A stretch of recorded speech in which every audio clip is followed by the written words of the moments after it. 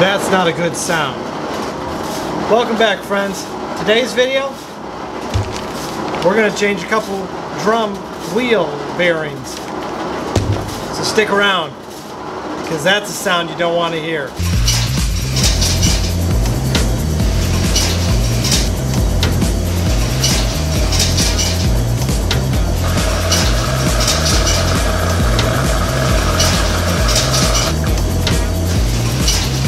Hear that? That's the sound of money. You wanna know what sound of money is? That's it. Ching, ching, ching, ching, ching. Ching, ching, ching, ching, ching.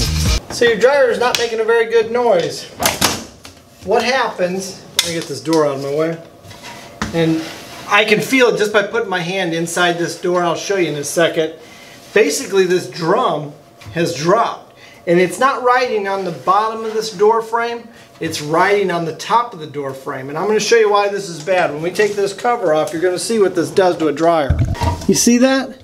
That's not good. There should be a gap there. It's riding against that. And then you see, as you go around here, there's a gap. Well, basically, this poor drum, metal on metal, folks. So we got to take it apart. Now, I've had a lot of comments about using an impact. For this I am. I'm going to speed myself up. I've got four star head bits or, or screws I got to take out first. And this just speeds up the process. Now, you notice that door didn't fall off like, I don't know if I showed you the other dryer, but on the newer machines, these aren't attached to the doors, to the frames. On the older ones, they attach these to them. So even when you take the two screws out, this door still attached to the panel. Newer ones aren't that way anymore.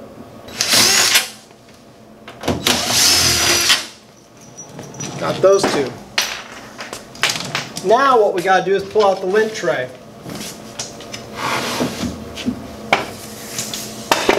Now down here we have let's see, 2, 4, 6, 8, 10, 12. We have 12 5 16 screws. They're not very long, but we got to pull all those out. Then we got to take the lint tray for the top machine out. Because if you remember in my video where I fixed the coin box, there's actually two screws here holding this panel in from above. So we got to take those 12 out and these two.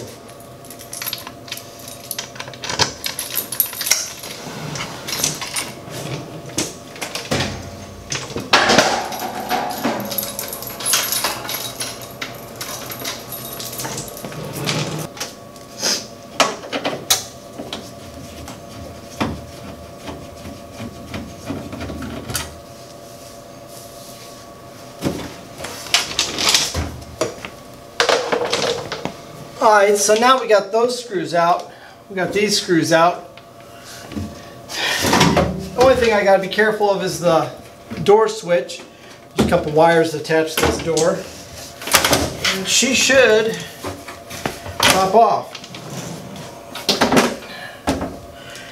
And I'm going to show you what is broke.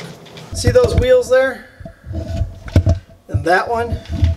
The rubber is completely missing from that. That should have rubber around it. Those are those, what I call skateboard wheel looking things.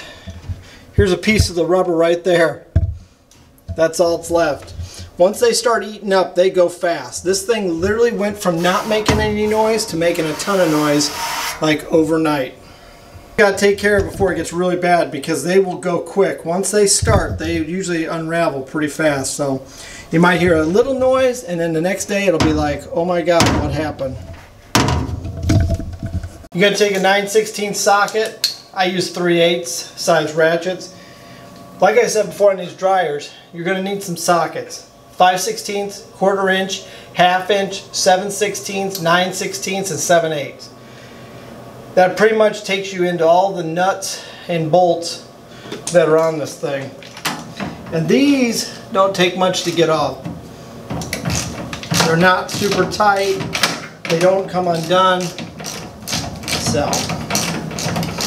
I just back them out all the way, lift the drum up, slide the wheel out, slide the new one in. Now what you will notice is in the video, in that photo, you saw the lint in that tray right here. Good time to pull that out right now. when you have this cover off, it's probably a good time to go get your shop vac and clean out these pockets, clean underneath, clean, don't pull the drum out, 'cause, I mean, that, that's a whole nother job. Because you gotta take the bolt out in the back, plus the belt's gonna come off. Now, like in my video, I said I buy these new ones now that are crimped. Now these, the rubber part finally wore off, but some of these, this is the type where that bearing actually will get hot enough it'll slide right out. That's why I switched to these. All I do is I just pick up on this thing with my one hand, pull that off, and you see I'm reaching in here, I'm actually getting lint that's packed behind the bearing. I'll show you this. I mean, this is nuts. Look at that. That's all behind this wheel. There's enough of a gap back there, lint and string will get packed in there. And you want to clean all that out while you got a shot, shot at it. And right here's all these rubber pieces. This is all the wheel coming out here. No sense in leaving this garbage in there. So real simple, just pick up on the drum, slide her up, make sure it's all the way in. I usually just put this on so I put the nut back on so it doesn't fall off. Pull the other one out. Same thing. Found a quarter. I'm now a millionaire.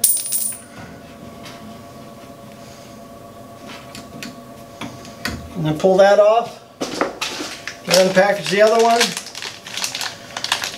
Throw the wrapper on the floor like all the customers do. Put it on. Pick it up. Down we go. Make sure she's in. Just put the nuts back on. Make sure she's cleaned up around here and we'll actually just put it back together. Clean up our mess.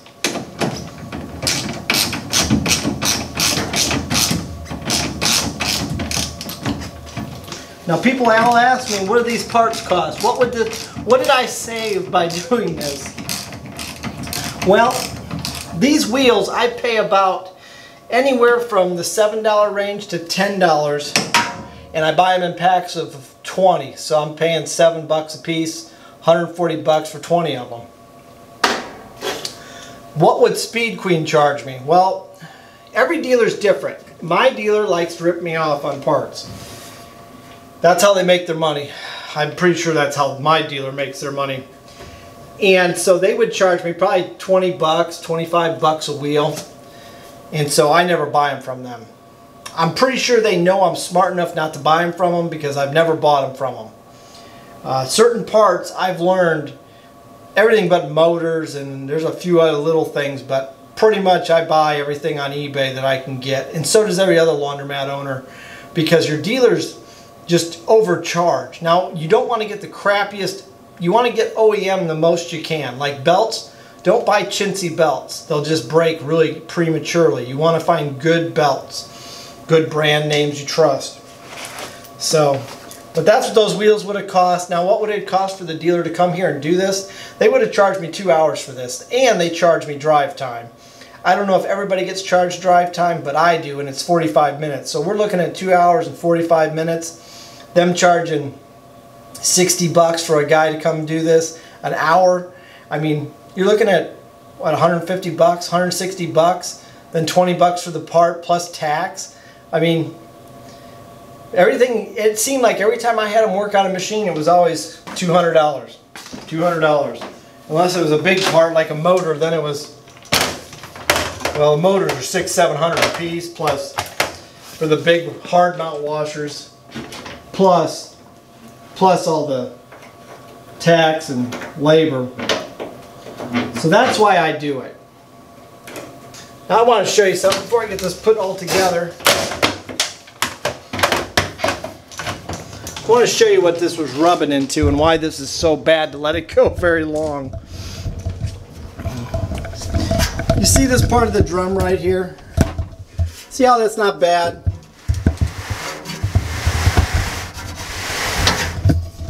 Look at that. That's actually wearing a pretty heavy groove. Now one side's wearing more than the other, probably because of the weight of the drum, because this part weighs more right here, so it's forcing down on the door. And you'll say, well, what is it wearing down on? It's actually right here. It's actually rubbing on this. You can see that's all nice and shiny.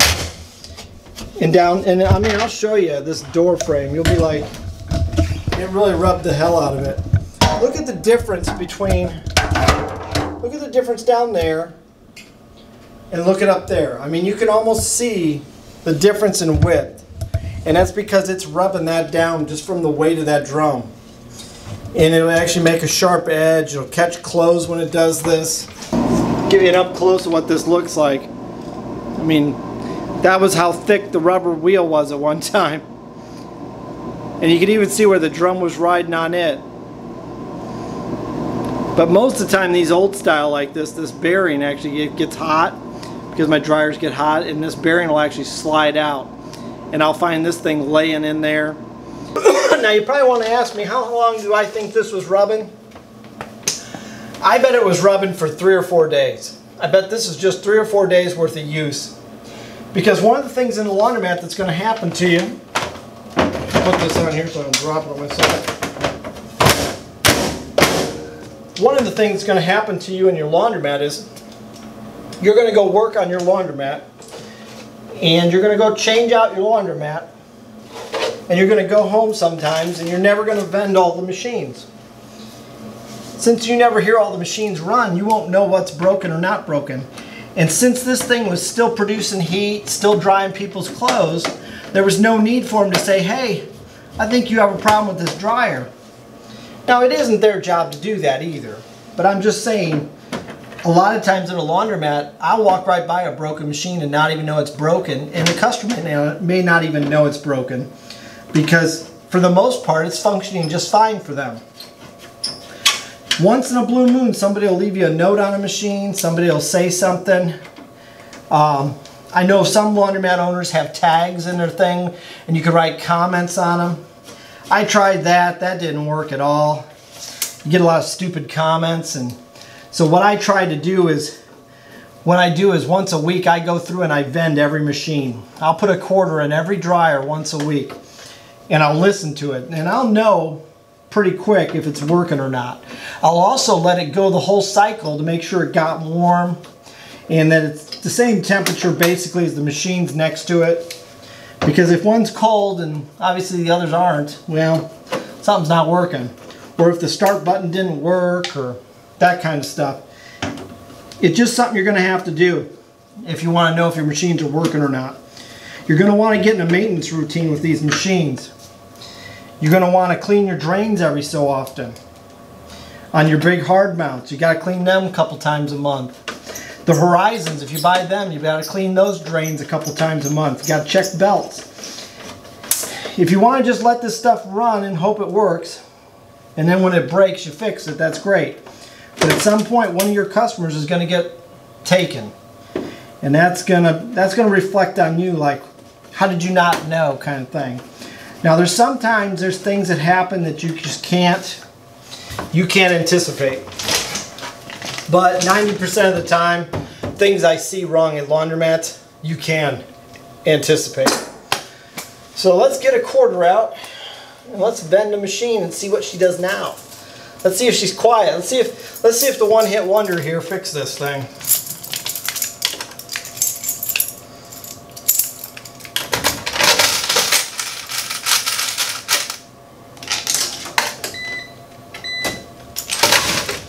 Now I got the lint tray out. Let's put the lint tray back, Keenan.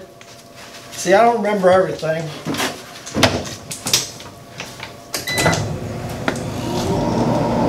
Look at that totally different.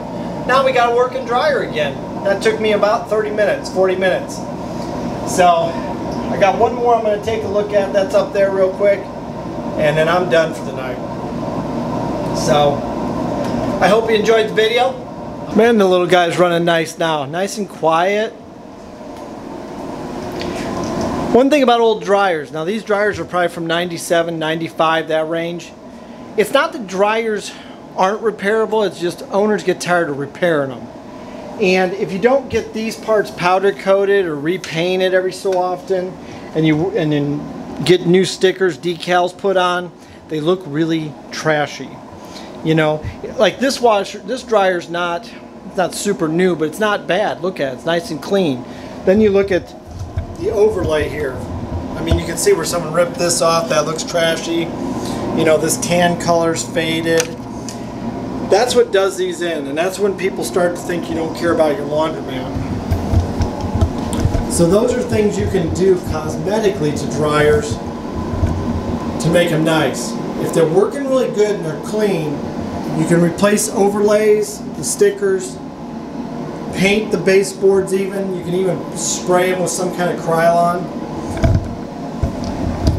And it makes a huge difference because people like it when things look nice. Just an FYI. Hope you like the video. I hope you're doing well. Hope everything's going good for you. Uh, always appreciate all everybody that watches the videos. Uh, I love making these for you.